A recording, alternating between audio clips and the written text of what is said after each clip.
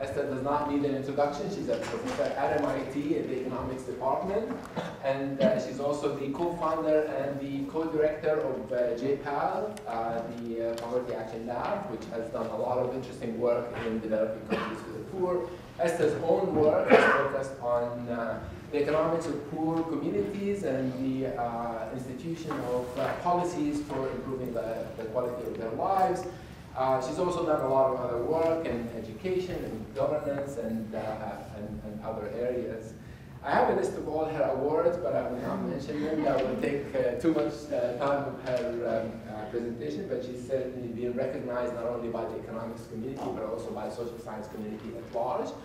Um, she's also written an influential book um, uh, with uh, Banerjee that's titled Poor Economics, radical rethinking of the way to fight global poverty. That book has been cited and, and, and awarded many awards, but also been translated to 17 different languages. Uh, we're very pleased to have you, Esther.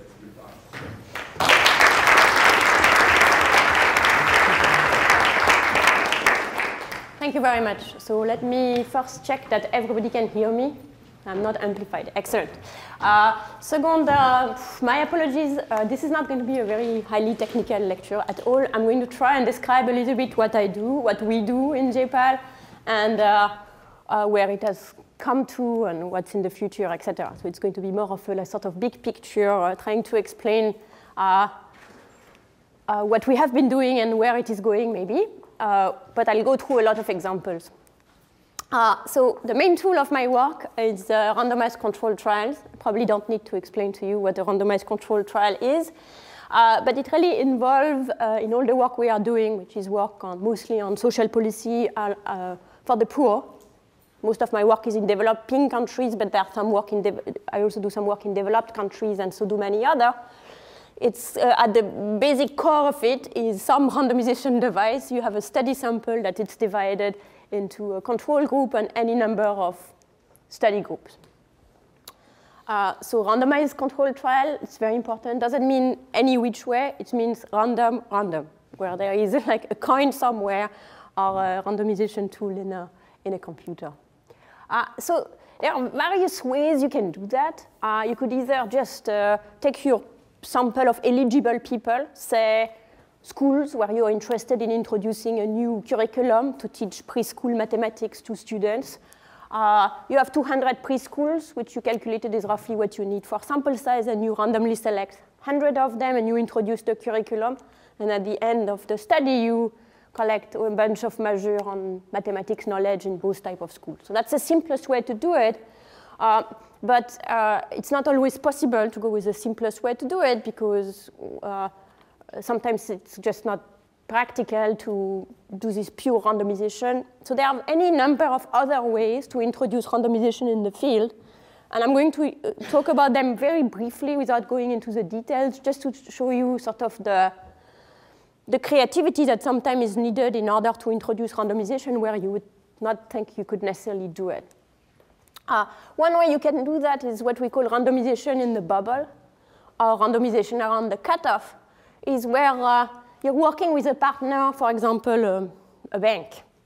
And you want to say, hey, wouldn't it be nice to randomly give credit to people so we would know whether getting credit is a good thing or a bad thing? And the bank is looking at you like you must be joking. We don't actually randomly assign credit, uh, so it's not going to be possible. So you can say, well, yes, but what do you use? You use, uh, for example, a credit scoring method. So you score whatever you know about the person and rank and the truth is that wherever you put the cutoff has a certain arbitrariness to it.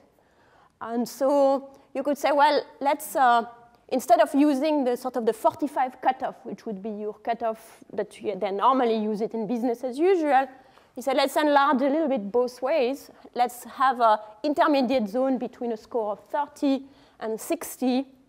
And in that zone, we're going to randomize who gets credit and who doesn't get credit. And by the way, it doesn't even need to be random, random with equal probability on both sides. You could say, well, I'm going to randomize uh, with a higher probability for the people who would normally get it, such that very few people would be denied the credit, and with a lower probability for people who would otherwise not get it, uh, so you don't get too many people who are likely to default on you, etc. So that is something which is uh, actually quite palatable because in many cases, the banks actually do not know how well their scoring method does. And that allows them to get a sense of whether, for example, people who are to the right of the cutoff are more likely to default than people to the left of the cutoff they're normally using. So that's one method that is also that can be used. Another method very, very commonly as, you, as programs get rolled out, you try and work to randomize the phasing of the program. So the idea is not that you're going to give the program in the 200 preschools out of the 200 preschools you have, you're not giving it to 100 and then never again to the other ones. But instead, you are doing first 200 school, and then supposing it's not a disaster, you're going to scale up the program to the next 100. So this is something I would say at the beginning of randomized control trials, this is pretty much what everybody did because had, there was the the view that it's the only thing that's really feasible uh, practically, otherwise people would be upset, etc. The truth is that it is not an ideal design because it has a number of issues. The people who are not treated yet anticipate to be treated in the future, potentially. That can change their behavior, and therefore you don't exactly know what you're measuring. Uh, and then it turns out that it's actually usually fine to just randomize. So this is something that, that we do less of, but that's an option. And another option that that is often used either on purpose or just happens is where you don't really randomize the treatment, but you randomize something that makes the treatment more likely. Uh, so the equivalent would be this knockdown versus knockout uh, in biology, where it's not that I will randomize you into treatment versus comparison, but I will randomize you into something that, makes it, that makes it more likely you're treated. So for example, uh, in recent example, it's, um, it's a program where uh, they made iron pill available to adolescents in a, in a village. So a lot of, in Peru, poor, uh, poor people, uh, uh, poor adolescents are often anemic, a large fraction of the kids are anemic, and that maybe that's hypothesized to be bad for their school performance, etc. So many, the, the WHO um, recommends that there should be iron distributed to kids, uh, to adolescent kids, and some schools do it, some programs have it, but there's huge problem with take up, where the kids actually aren't so interested in taking the pill and they just don't do it. So what they did here is that they took a number of communities, they made the, the iron pills available at the health centers, and then they went to schools and they randomly selected some kids and showed them like lots and lots of video about how bad anemia is and how the pills are available right there at the center and you should go get them. So when you do that, you don't get 0% take up in the comparison group because some of, the, some of the kids that didn't see the video still found their way to the center, let's say because the friends of theirs that see the video or their parents told them to do it or whatnot. So let's say it's hypothetical, but 20% of the kids in the comparison group who didn't see the video still access the pill. Uh, and conversely, it's not that the video convinces everybody uh, but it convinces some people. So 45% of the kids who see the video take the pill. So it creates a difference, the, the randomization creates a difference in the probability to have seen the video. Of course, the only thing that is randomized is, the, is having seen the video. So the, the only thing that is randomized having seen the video, but you can use that in order, you can use this exogenous variation, this randomized variation to infer what the impact of the, of the um, actually taking the iron is. What this involves simply is to compare the treatment and the, the video, no video group, and divide that by the difference in probability in taking the pill. So basically here it's you divide by 25% or you scale up by, by a factor of four to your, uh, your randomized difference, so your, your intention to treat, you scale it up by a fraction of four and you get the effect of getting the pills. Under the extra assumption, which is not innocuous, that the seeing the video itself doesn't have a direct impact on anemia, say, or behavior through other channels. So you'd have to check that, but this is actually checkable in some ways, and, and you, in this way you make progress. So a lot of experiments are a little bit like this, if only because not, it's not always possible to convince people to, take, to, to stay in the group where you assign them. Uh, so sometimes it's involuntary that it's like that, and sometimes it's on purpose. That's powerful because it means you can evaluate even programs that are rolled out nationwide. for example, a pension program, because in a lot of cases, a lot of people just don't take it up. So if you can boost the take-up, you can, you can evaluate the impact of those programs as well, without manipulating the existence of the program in, in and of itself. So in our work, we are interested in causal effects of a policy or an intervention, or sometimes someone's characteristic, for example, their education, on an outcome or a series of outcomes. People's earnings or people's happiness or whatever it is you want, that is you specify before getting started. I should say at the outset that we are not interested in the causes of effect, but we are interested in the effect of cause. I mean, it's not that I'm uninterested in the, what causes various things. It's just that I think it's a bit hard for me. What I can do is to look at what type of effect a given cause produces. In other words, I'm never trying to look at the, like what is the entire model of someone's behavior. I'm always interested in looking at what's the effect of a particular cause that is in principle manipulable, that you can change. So what happens if I do this rather than that? What happens if I am like this rather than like that? And uh, uh, isolating the rest. So it's a pretty severe limitation, maybe, but that's, that's what it is. Uh, I find the rest hard to think about. So, so uh, randomization is a natural way to provide a credible counterfactual of what would have happened if I had done manipulation A versus manipulation B. So in the Rubin uh, causal framework notation, basically the, what randomization gives us, if treatment T is randomly assigned, then the potential outcome for someone who doesn't, who, uh, the potential outcome not treated for someone who get the treatment is equal to the potential outcome not treated for someone who gets the treatment, who doesn't get the treatment. In other words, in the absence of the treatment, the treated and the untreated population would have had similar outcomes. Okay? Which means that when I take the simple difference between treated and control, if T is the randomly assigned uh, treatment, uh, I, I, recover the causal effect for, the, for this, on average, this population. So in that sense, randomization ensures internal validity, so it ensures that the comparison between outcomes gives me a handle on the causal effect. Now, of course, if I had an encouragement design type setting, that's not necessarily what I really care about, so I need to do some manipulation to go back to the effect of the actual thing that I'm interested about. And the treatment is just a device that pushes it, dials it up or down a little bit. So there's some extra little work that's needed, but that's all, you know, conceptually easy. Uh, so one question you might ask is why bother? You know, why do you do that? Uh, you, one you could ask, especially if you're not economist or even more if you are economist sometimes, is uh, well, but why do you need to, why do you need to just be so, um, uh, why do you refuse to say anything about what could the potential outcome be in the absence of, uh, of, of, randomization? Why can't you just assume that they would be the same based on your model? Uh, isn't theory here to guide us of what, what, what may be the important factor that affect an outcome or another? And then if we have the model, then we can just go about, you know, put it on data and estimate it. Um, and in, in, addition, a lot of factors we might be interested in, the big things, say institution, the rule of law, macroeconomic stabilities, you name it, maybe things that are very difficult to manipulate in RCTs. So maybe, uh, A, you're doing something that's kind of unnecessary to get sort of some sort of experimental purity. And in the other hand, by doing that, you are just confining yourself to watch, to look for your keys under the, under the, um, the light of the, of the lamppost. But the, the reality is that the important stuff is all around us in the world, and you're just pre prevent, pre not looking at it. So maybe we're confining ourselves with this kind of method to, to the small things that are unlikely to make a major difference in practice.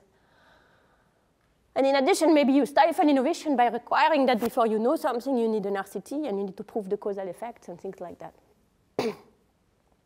so I could spend most of my time worrying about why bother, but I'm going to spend very little time of it, on it because if it, if it had been 15 years ago when this started, I could have spent a lot of time on this. But now I'm going to spend very little time on this, just enough to keep you with me for the rest of the talk, hopefully. I think the only thing I want to say is that what is not in our model, models and will never be in our models, in my view, it's not a matter of time, it's just never going to happen, is, uh, is that details are incredibly important, and uh, intuition does not help us resolving those details. It's like you have, the real world kind of comes in, and you have no idea. For example, you know that maybe teachers, you know, more, more teachers in a classroom might be better than fewer, but by how much? There's no, no model is going to tell you that until you try the, until you try the data. More generally even, so I'll give you an example. So for example, you can say, well, education is clearly important in ensuring economic growth. So people have been running regression, trying to show whether countries that are more educated, more educated people are, have a higher uh, GDP or not. Um, first of all, they're not even sure what's the answer to that question. But even if you did, like once you've done that, what have you done? Like education is what? It's like it's a bunch of things. The quality might vary widely. The way it is organized vary widely. So once you've said education is important, you've said nothing of practical value to anybody who wants to address this problem. Because you need to get into the details and thinking how the classes need to be organized. Should it be private? Should it be public? Combination of both, etc. I'll give you one example about democracy. So okay, let's assume we all agree that democracy is important. Uh, we can agree on that even on as a, you know, a philosophical matter, whatever the impact is on growth, because we think it's important for people to choose. But democracy is complicated. You know, it's a way elections are organized. It's going to have a, an impact potentially. And what I want to persuade you with using a non-RCT example on purpose uh, is that the details of the rules make a huge difference on the final outcome of what we call democracy. And this example comes from, from uh, Brazil and looking at the uh, change in electoral rules. And it's a very nice paper by uh, uh Thomas Fujiwara, who, is, who teaches uh, political science, uh, sorry, economics at, at Princeton, but works on political economy issues.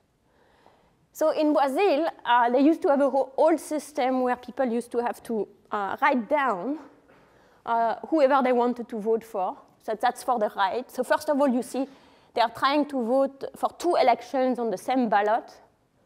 If it reminds you of the butterfly, butterfly ballot, is that you are less young than you, than you look. Uh, so there are two things, there are two parts of the ballot. Then one part you need to check a number, but the other part there are actually so many candidates that they cannot give you a list. You have to write down with your best handwriting the name of whoever you want to vote for if, there, if you, by chance, you cannot read, you cannot write, or you make a mistake, uh, the, the ballot is invalid. So there was a huge, like a fairly large number of invalid ballots. I'm going to show you how many in a minute. And then they switched to that system where instead of um, um, writing down the number, you need to punch a number. Once you punch the number, the, the face of the person you want to vote for shows up and his name, etc. So you can make sure you have voted for the right person. You can continue only if you want to. They did this change because it would be much faster to count the votes. But the unintended effect is that it uh, really reduced the number of uh, invalid ballots. You can see it in this graph. Uh, in green here, you have the uh, 94 uh, election result, uh, the number of the, the number of votes, the number of valid votes. In blue, uh, you have the number of valid votes in the 98 election, and in red, the, num uh, the number of valid ballots in the 2002 election. And you can see that something clearly happens around uh, the city size of uh, $40,000 in 40,000 people in 1996. So why is that 40,000 uh, line relevant? It's because they introduced the reform in two phases. In phase one, they only had it for the large cities, 40,000 and larger. And in phase two, everybody got brought in. So you can see that before anybody got it, you have a, a, a very large fraction of votes that get uh, invalidated. Then when the big cities get uh, introduced, you have a big increase in the number of valid votes in the big cities, right at the threshold. Uh, and then when everybody gets brought in, then the, the, the number of valid votes increases everywhere. So that makes a big difference for how democracy is uh, actually implemented. Of course, the type of people who tend to make mistakes are the people who make, uh, who, who are not necessarily literate, etc. So it actually changes the fraction. It actually changes the composition of people who actually end up voting, and therefore it changes who gets elected, and it changes what they do. So in fact, he continues to follow up, you know, sort of pro-poor policies, and he sees that as in, in places where more of the cities were in, a, in an area where under the new system, you get more pro-poor policy be implemented. So it shows that details like that are extremely important. And details like that are actually what we are very well placed of to look at, uh, to look at with RCTs. So a lot of my work, actually, especially lately, you could say is about plumbing. It's about less like what is like a great idea that you can have and more about how do you go about implementing it. So, and that means that often I work with governments who are already something that they want to do anywhere, and it's all about how do you get it done? Like what's the way in which get, you know, if you, if the money, how will the money goes from point A to point Z where it needs to go without being lost in the middle, this type of stuff. Uh, so uh, JPAL, which is the, the, the network I helped uh, started, um, basically helps people running RCTs. So we have about 130 or so affiliates around the world. And together they have either completed or are working on 700 randomized control, 700 randomized control trials in 64 countries in a lot of sectors. That's why I don't want to spend you to spend too much time convince you that it's feasible and it's potentially interesting. It has, it has happened anyway. That train has left the station. So what I want to do is to, is to, uh, is to uh, tell you, you know, after 15 years, like what, what are some key questions that, that are in my mind uh, and the extent to which we have answers to, to those questions. So one key question is whether results generalize from context to context. Actually, we had this question from day one, but now we have some elements of answer to this question. You could say, well, you know, if I do an experiment here, but I'm learning something that is completely local to that place, that might still be relevant to them, but there's no, not, there's no public good involved, and there is no science involved, because, uh, you know, that still, they could still decide to do it. After all, farms do like this A-B testing, but uh, it's not, it, it would be less interesting so what we are able to do now is to, is to do the same, to try and evaluate the same program in different places at the same time. Uh, and that gives you a sense of whether you get different results in different settings. So I'm going to briefly give you two examples of that. One is a very complex program called the Ultra Poor program, which was started by a Bangladeshi NGO called BRAC, and you can see they're trying to do all sorts of stuff at the same time. It's sort of a big push approach for people who are extremely poor. Uh, they are doing, uh, they are giving them an asset, they're giving them some training, they are giving them a little stipend for a few weeks, they are keeping them, and they are meeting them every week. So it's costly. So they were pretty interested to know whether it was working. And they launched an RCT uh, in Bangladesh, which showed pretty large effects. But then there was a question of, then would you want to replicate this type of program elsewhere, given that maybe BRAC is very special, and in addition, maybe it will work in Bangladesh, not elsewhere. So the Ford Foundation and CGAP managed to kind of assemble enough money and enough partners, NGO, and enough researchers to uh, evaluate this program in six more countries. And then we were able to publish the papers in, uh, in, six, in, the, in one paper, we published the six RCTs together. Uh, you don't need to look at the sort of all of the, the effect of that. You can just see that the effects tend to be, all be positive across a range of domains. On average, this is the average effect, just a simple average effect, one person, one, one data point, across the entire, the entire sample. Uh, all of these are RCTs. Uh, so it's a good program. But more importantly, when you're looking at the different countries, you can see that the effects are positive in most countries. A big exception in the middle here is Honduras. Uh, this is the effect on assets, so how much productive assets the, the poor after, have after three years. The program lasts for a year, but three years later they were surveyed for the last time. Actually, in India, we continue to follow them. You can see large changes in assets. This is standard deviation, so an average of 0.2 and then uh, and same thing for consumption. In all the countries, you see large increase in, increase in consumption, except in Honduras. So one country was different. Uh, I'm not going to explain to you why, unless you ask later, because at some level, ex post, you can make all sorts of uh, story why uh, something happened. And the bottom line is that the, the, the, variation is not all that great, given that this has a completely different context. Second example is microcredit. So if you were following microcredit in the 2000s, this is 2006 is when Muhammad Yunus uh, wins the Nobel Prize. In fact, 2003 is when he was in this very room uh, being uh, uh, uh with MIT students really uh, fascinated by him, rightly. by oops, 2013, the, the, the, the, the pendulum had swung like widely. it was like is Grameen founder uh, uh, Muhammad Yunus a bloodsucker of the poor? Uh, India's microfinance suicide epidemic, etc., etc. Both level of both excitement on both sides uh, happened in the in the absence of any really hard evidence. So towards the end of this period, though, we had started to try to, to, we had started to finally succeed to convince enough microfinance partners to run randomized control trial of the impact. And uh, there were seven evaluations conduct by, conducted by several teams with one of two designs. One was this, this, like in the bubble randomization, as I described. The other was uh, just a clustered randomized trials where uh, you randomize at the level of the village or the neighborhood whether the, the MFI is going to enter or not. And uh, one of the first evaluations to come out was India, which showed really no impact. And at the beginning, like, it was completely dismissed as being sort of just this one place and it would be different elsewhere, etc. So we sort of left it aside and let the other study co come. And when they all came together, I was able to publish them all together into one, journal, one issue of a journal. in this case, we didn't publish one paper, but at least we put them all together into one journal.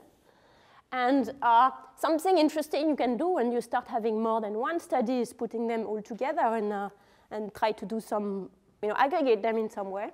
So MIT uh, Econ PhD student Rachael Meager has used the Bayesian hierarchical modeling to look at how, what, does this what do these different studies are trying to tell us? Are they trying to all tell us the same thing? Are they all trying to tell us that it could go all over the place? And what she found in this case is actually remarkable pooling of all of the estimates around zero.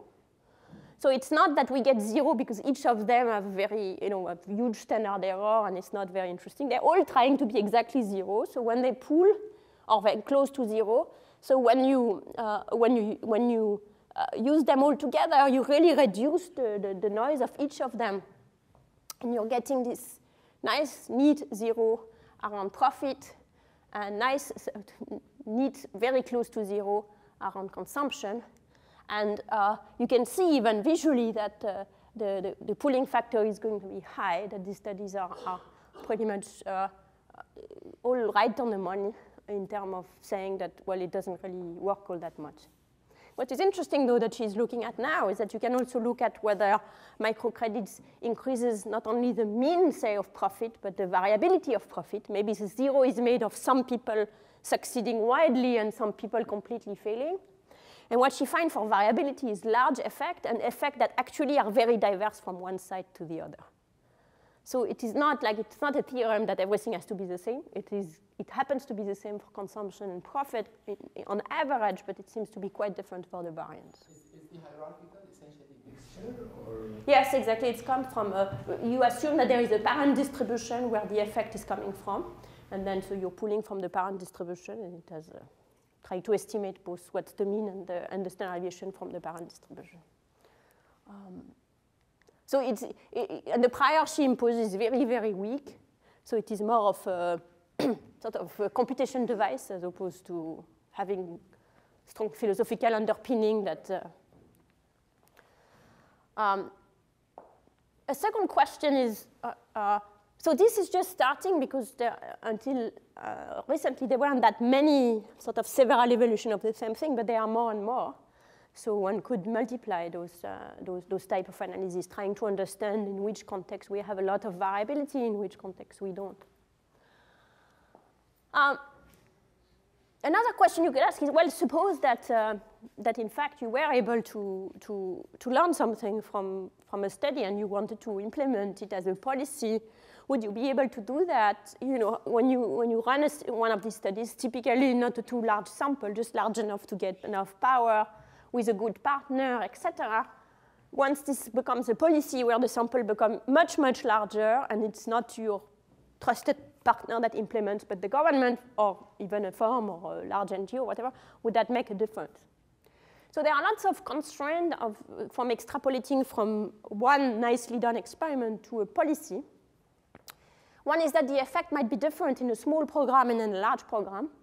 In uh, economics uh, jargon, we call that general equilibrium effect. For example, if you gave one, one cow to one person, she would have one cow, but if you gave a cow to an entire district, then the price of cow would collapse. Um, so that's one potential problem. Another potential problem is, as the problem is scaled up, you may be moved, moving down the demand curve, moving down the potential effect. Like the, the first people you serve are the people who need it the most, and then the next people you serve maybe don't need it as much anymore, so the average effect is going to be lower than what you're estimating. And finally, the government might not be able to implement the policy as well as, the, as your initial partner, or might not be willing to, so you're going to get less effects than you, than you expected. The only way to, to find this out is to try it out. Uh, so recently, a lot of my work has been on this very large scale because there is no way to answer large-scale question without working at a large scale. Uh, and, and, and some people also, a lot of people try to do that. So I'll give you just one, one example of a study I did which is trying to, to work at scale.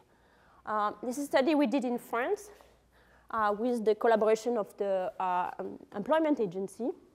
And we were interested in evaluating uh, something called active labor market policy, which is sort of by way of this kind of the only thing a European country really do in terms of helping the unemployed, is to try and help them, uh, you know, learn how to build a resume and give some phone calls on their behalf and learn how to tie their ties and the like. And when you have randomized evaluation that have been done, the first randomized evaluation, I've seen some positive effect of doing that. At least people get a job faster when they get the program. But one big issue is whether it's purely musical chair. That Munza and I are in the same labor market, I get helped, so I get the job, but there was only one job, so he doesn't get the job. On the other hand, it could be that because I'm trained, I'm more employable, so I now have a job that would not otherwise have existed. So we don't know until we try. So what we did is that we did a design where we first randomize at the labor market level. So you have to imagine the, the, the evaluation takes place in about half of France. Uh, half of France is left away. In the rest of France, uh, each labor market is assigned to one of five groups. 0% uh, treated, 200% treated. And then in each of, in 0% treated, obviously no, no one is treated. In 100%, everybody is treated. Uh, and then we vary uh, the fraction 25, 50, and 75. Uh, here, it's 100% of the eligible population for the program, which is young people who have been unemployed for a while. And so when you compare, for example, one of the little white guy in the 25% group to one of the little white guy in the 0% group, it will tell you whether he, was, he or she was hurt by the fact that uh, there was a treated person in his market. Uh, so that gives you a sense of the, uh, of the externalities.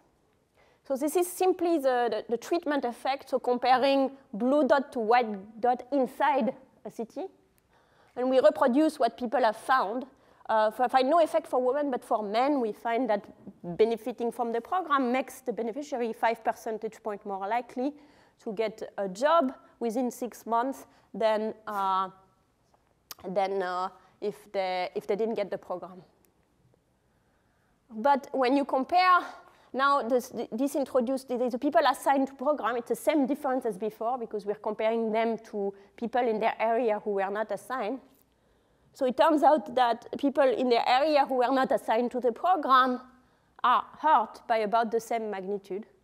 So basically, it's entirely, uh, it's entirely a musical uh, chair uh, game.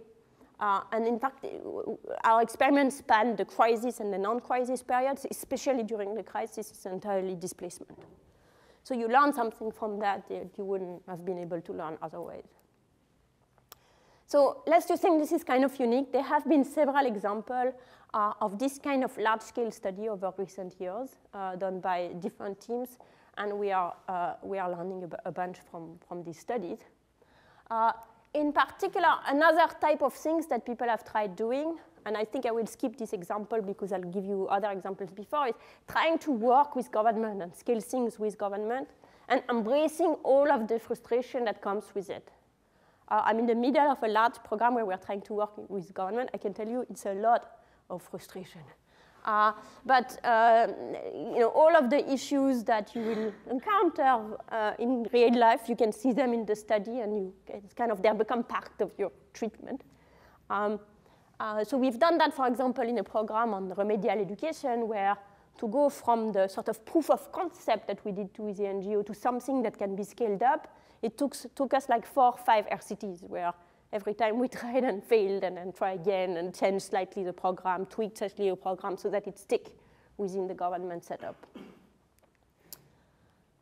So the next question you might ask is, well, does anybody care? Is there any appetite uh, by policymakers or others, private uh, people, NGOs, etc., to scale up evidence from those successful uh, pilot trials? So suppose you, actually you learn something from it, it is visible, but do, does, anybody, does anybody care? Uh, so we're trying to count that.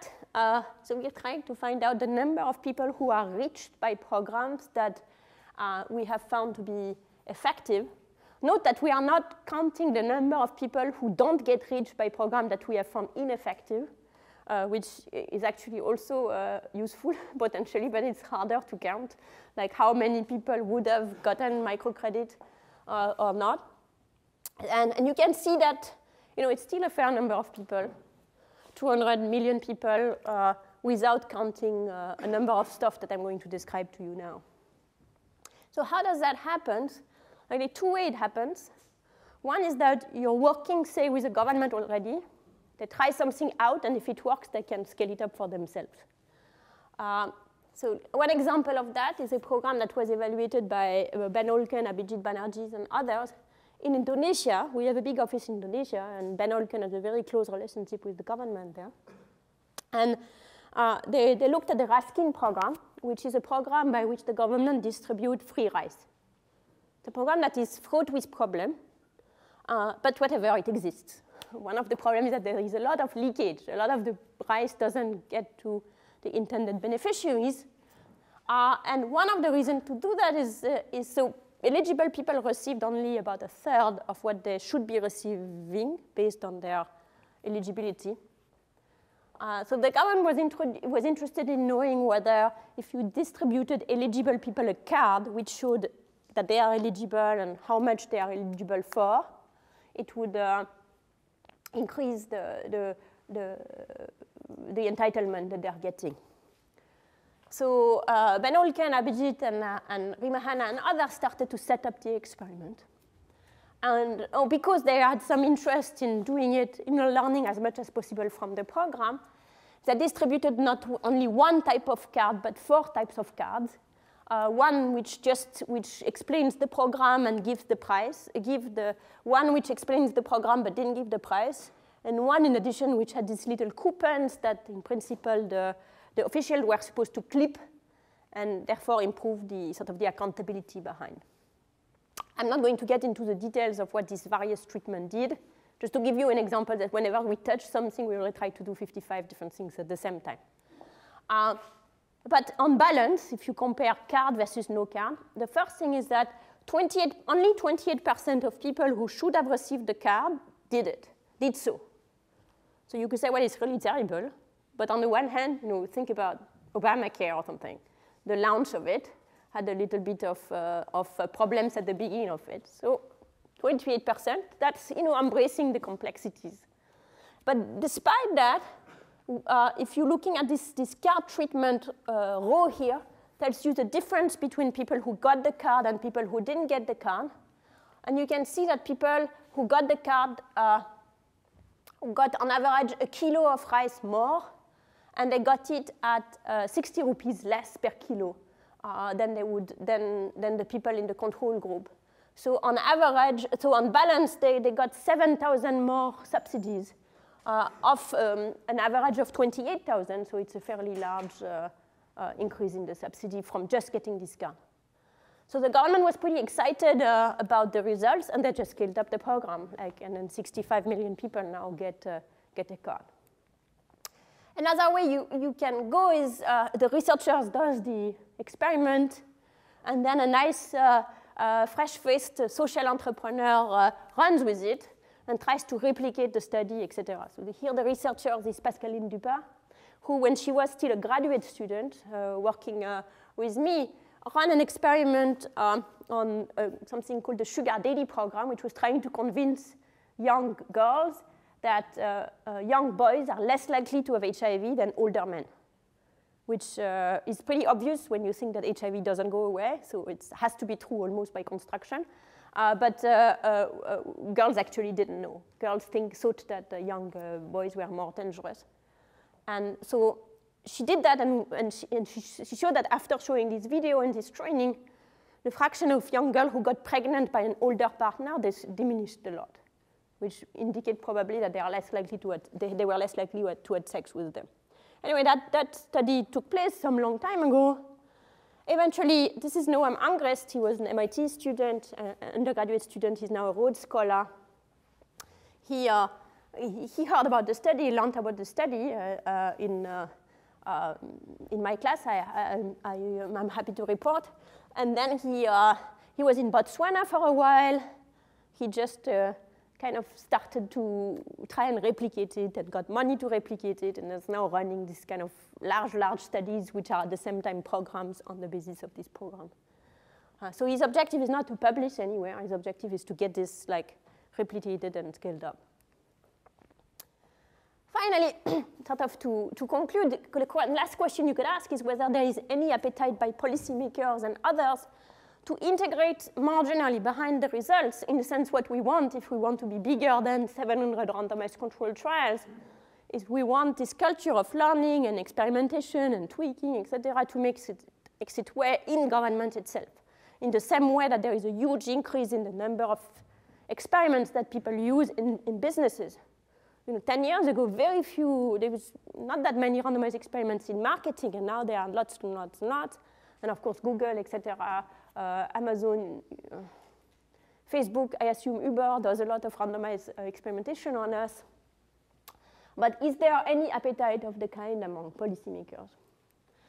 And uh, I think there is. Uh, it is usually, this is very idiosyncratic and it's really depending on the persons, but we have a number of sort of encouraging examples. I'll give you just one. Uh, I worked for several years with the Pollution Control Board in Gujarat. Gujarat is, uh, uh, so India is one of the most polluted places on earth. You think it's China, but it's really India. India has the most polluted cities. And Gujarat is one of the most polluted places in India. Uh, it's a very fast-growing industrial state, and um, it's, it has a, it's, it's terribly polluted. And the problem is not that they don't have policies. They have policies, they have thresholds, they have standards, but nobody really respects them. And part of the problem is the apparatus to make firms uh, accountable to this threshold that are, they are supposed to satisfy. So in Gujarat, they have two uh, ways that they do things. One is just inspecting firms, and the other is third-party environmental audits. What's an audit? An environmental audit is that the most polluting firms, depending on the sectors and the size, three times a year must pay a company to go visit them inspect them, do some pollution readings, etc., and prepare a report telling them how polluting they are and what they could do about it. Now, a big problem is that uh, there is a huge conflict of interest between the auditor and the firm because the auditor is paid by the firm and it is uh, uh, much simpler to give them what they are uh, asking, rather, which is a clean report, than try to give them the true report. So when we started working with them, everybody was convinced, auditors, firms, government, that the system was useless because uh, firms were uh, cheating like crazy. So uh, we worked with them. So they were in fact cheating. I'll show you an example of that. We worked with the government uh, to try something. I'll tell you what the treatment was in a minute. But here is some data. So this is what the auditors report. So you can see that this is the red line is a threshold. So the red line says whether you're polluted or not. So the farms are doing very well. It's in fact hard to believe, looking at this picture, that there is pollution in Gujarat because the farms are all below the threshold. Uh, but what we did is we back-checked this report. So we went uh, um, soon after, uh, uh a team from a college went and took the same uh, me measure from, from the farm, and this is what we found in the back checks. So the actual distribution of uh, readings are quite different from what is being reported, including here you see that a report, very, very low report in the back checks, and you don't see any of them in the, in, in the auditor's report. Why is that? Well, maybe, even, even, yes?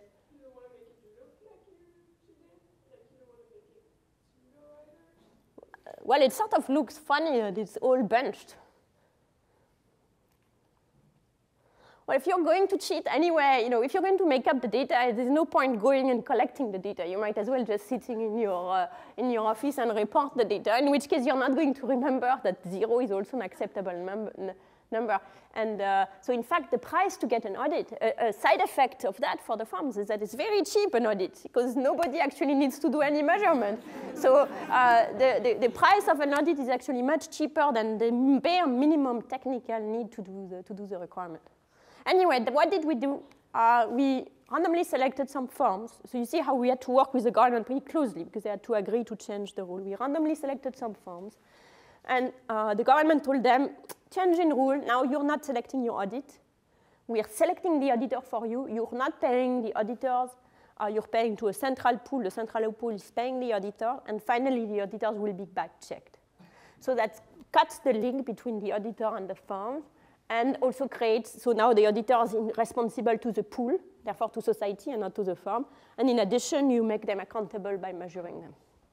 I have to ask, no perverse incentive for bribery under those circumstances? Oh, there are perverse incentive for bribery either way.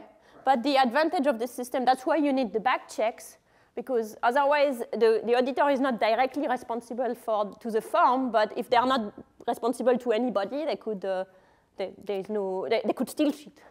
But here, if we find them cheating, then we kick them out of the pool. Uh, and so what we're finding is that, so this is the treatment. Uh, the, this is what is on the top panel is what the auditors report. The bottom panel is the back checks. And you can see that they are pretty uh, nicely aligned. The back checks have no way, the back checkers do not talk to the auditors, so there's no bribery there. So it worked pretty well. And then in fact, it created something useful. The, you can see this is the actual reduction in pollution by the farm. Uh, so uh, especially among the very highly polluter, we had a reduction in pollution. And so the consequence is that the Gujarat Pollution Control Board accepted and enforced uh, our three main recommendations. So they've changed the law. It was a bit complicated, but they managed to do that. So randomized trials have dramatically increased in numbers, in scale, in scope, the type of things you can do. I would never have guessed we could do anything remotely resembling that like 10 years ago when we were randomizing flip charts in schools. Like it was, uh, they are now starting to play some role in the policy conversation. It's never going to be all of it, nor should it be. Uh, but I think they have helped provide some focus on what we know, some focus on what we don't know, and some focus on what we need to find out which hopefully is going to generate lots, of, lots more work in the years to come. Thank you very much.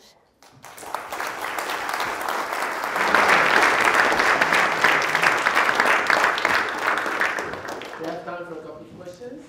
Okay. How expensive is a useful trial? And is that a problem for you to be able to conduct work with governments especially? It really depends from trial to trial. So because it depends on how you're going to collect the data, whether it, you need a very large sample, whether people are all close together. So there is a wide range. I would say the mode is uh, $200,000 uh, to, to get uh, uh, to get uh, um, for, for, the majority of things. Uh, is it a problem? Well, it's always a problem. Money is always better than other, but it's not been a huge limit, limit, limiting factor to date because some people have been willing to, to pay for it. Um, in fact, in recently, even governments are starting to be willing to pay for it themselves. Uh, so, and before that, uh, donors were like, you know, sort of interested, and there are, there are some agencies who, who are who are interested in funding those because it, it, it, generate, it generates knowledge. They're not too much more expensive than any other data collection exercise because usually the, usually the implementation costs are covered by the partner anyway. Uh, but of course, it's, it's, a data collection exercise. What, what I've observed working with commercial organizations and a couple of NGOs is there's an evangelistic aspect. They want the hypothesis to test true. They want their initiative that's funded to be valid. So there's a behavioral economics component, and if the experiment doesn't deliver the results they want, you have not done the right experiment. You've, you've screwed up. I'm wondering how often that phenomenon has occurred or whether you've seen a different distribution in the response to that over the last decade if you're doing these experiments, RCTs all over the world. So it's, it's, it's possible, but it's not as bad as you would suspe suspect, uh, partly because there is some selection in who agrees to participate to an experiment. And for example, in, for microcredit, it took us a very long time to persuade seven seven organizations to do it because they were so convinced that they were doing God's work that they had no interest in evaluating the thing. Usually when people agree to evaluate a program, it's because they have some questions that they ask themselves. Uh, and I've been uh, very diligently staying away from flagship programs by governments, at least from evaluating the programs themselves. So uh, buy a sample then? Well, of, of things that where people are interested in the answers. Uh, two things that help is that because we are at MIT and other people who are in other academic institutions, we will never sign uh, an agreement where we will, the result will be, uh, have to be uh, checked before we can release. We, we, we, always hide behind MIT and say, we are not even allowed to do that, sorry. Another thing is uh, we are pushing very hard for registering trials not only ours, but elsewhere. So I started a registry on behalf of the American Economic Association. So as soon as we start a trial, it's registered, so its existence is known. So if the result never come out, then there is some, you know, someone can ask and say what's, what's happening to your trial. Um, and then try to write down a little bit what we expect. What it, where it poses problem is people are so optimistic about the effect they're going to have that they typically push for underpowering the trials. Because if you think the effects are going to be used, you can go with small sample because you're going to be able to have good powers anyway. And you're like, are you really sure? Like, do you want to really test for an effect that large? Because if it's a little smaller, we won't be able to set the difference from zero. So you need a lot of negotiation ex ante to have a, a trial that's large enough. So quick follow-up. So microfinance would be an example of, of that. How upset were some of the people? Uh, tremendously upset. Uh, as in tremendously upset. But, uh, so it took some time, and in a sense, the first study that came out from India got nowhere, uh, except for upsetting them. But then when you have seven of them, then eventually, you know, it's what it is. So in fact, uh, here, uh, CGAP, which is an international body that is in charge of promoting microfinance, they very aptly kind of pivoted. They organized a whole like conference with us and with microfinance partner, and, and now they are like you know, just, just broaden their mission, broaden their mandate. They're about financial inclusion for the poor. That goes from uh, ultra poor till uh, M-Pesa and stuff like that. So it, in, it includes successful products at both ends, and, uh, and, and everything is fine. But some of the microfinance agencies are still upset. Uh, I, I, don't think uh, Muhammad Yunus is talking to me anytime very soon.